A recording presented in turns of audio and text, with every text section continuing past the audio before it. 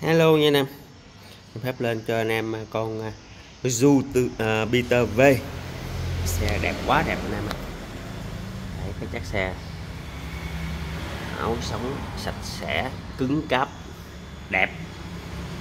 Phải gọi là đẹp luôn chứ không phải gọi là sẽ mà liền mạch nó nha em Phải gọi là đẹp luôn. Đó. Đẹp là đẹp theo cái thời gian của nó anh em ha. Mấy bé này thì hai lấy ba, hay lấy tư, hay là năm hay là mấy tới giờ anh em tính cũng gần 20 năm mà như thế này thì quá tuyệt vời ha. Đẹp nha anh em. Đó hồi xưa chứ chơi sang lắm đồ si không à. Xe này đó à, mua cũng khá là tiền chống là còn dính chân lóc bạc sơn zin nha không có bắn tuốt nha. Đó anh em thấy cả cái chống này mà mà mình còn chưa có dặm nữa. Tại mấy cái này là mấy cái chỗ điểm tiếp xúc mà còn chưa hề hứng chưa có bắn tuốt nữa gì mà trên này ha. Đó, thường thường ở dưới đó đi trước. Xong mới lên trên à, phụ cũng sơn viên nè. À, cái tem đít ranh à, à, hãng dán theo xe còn tới giờ ha. Nền câm đâu ok nè ha không xét không một lũng đó. nền anh em cứ kiểm tra chân quanh nha. Đó cái khúc từ bờ bốn cây bốn cây câm từ tính từ chân quanh là nó không một là thôi à, mấy chỗ khác hiếm lắm. Đậu bò anh em dòm nè. Cam cò xúc bắp chưa canh chỉnh như trơn nha anh em này ốc nè. Rất là đẹp anh em ơi tầm giá tiền này thì à, 18,5 triệu này thì à, mình vô hãng mình mua. Chạy không có xe nào cảm giác đâu anh em nha. Hả? thắng đĩa ha. Đó giá trị cái chỗ này đó ha. Cái cụm thắng đĩa cái dòng da này thép nhịn đầu bò thích thiệt. Đầu bò nó làm cả trò cả chống ghê nữa ha. Từ lúc mà dòm cái à, đầu bò của chiếc quay à, y 125 2023 mẫu mới tới bây giờ dòm lên mấy cái đầu này mới biết phê á nè. Dòm mấy đầu bò này biết phê.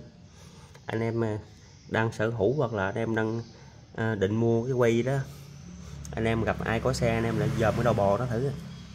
Mất cự lắm mấy ốc này téo tẹo đó tẹo à. Đó, nắp cam nắp số bắp vẫn tròn tròn tròn tròn mà. Nhỏ xíu lép xẹp. Đó nhìn nó mạnh nó mạnh lắm. Ha chứ nó không được sắc sảo không được ừ, chắc chắn gì, nhìn khê được bò da.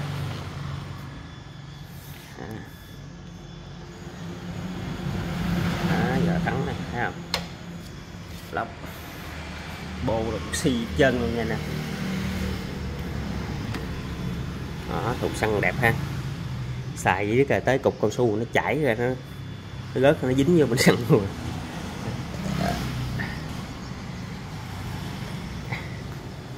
À, theo thời gian em ha. Bát máu gì còn ở trên không có gãy luôn ha. Nè đây cũng vậy nè. Đó, cứng rất là cứng cáp chắc chắn cho anh em nha. Đó. còn áo thì nè anh em dầm nè.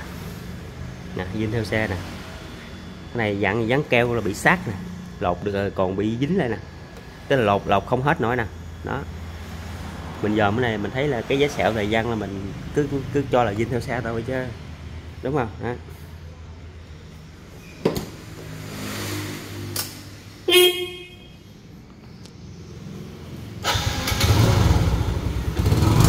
máy quá máy.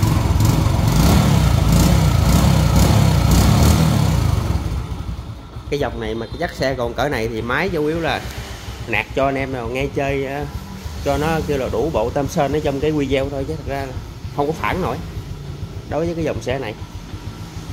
Đó. giá trên yên nha anh em đó.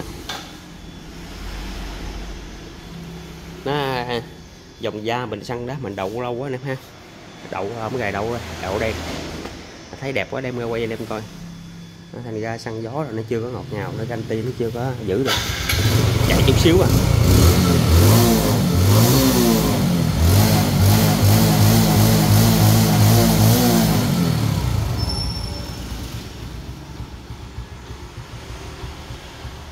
Ở trong nhà mà Ganti không muốn nghe tiếng. Cái này chỉnh lên chút xíu nè, cho tỷ lệ nhỏ.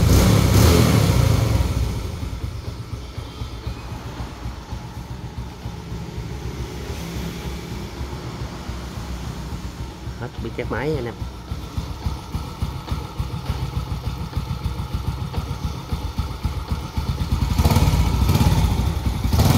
Lấy cái dít ra.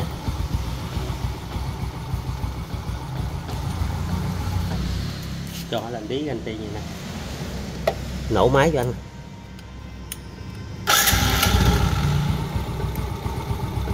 Rồi.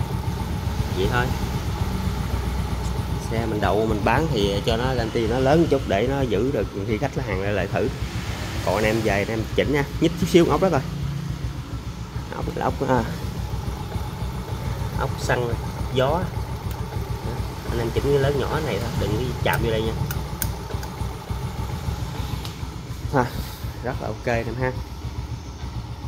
Về chạy chơi trải nghiệm anh em ơi chắc bền đẹp lắm.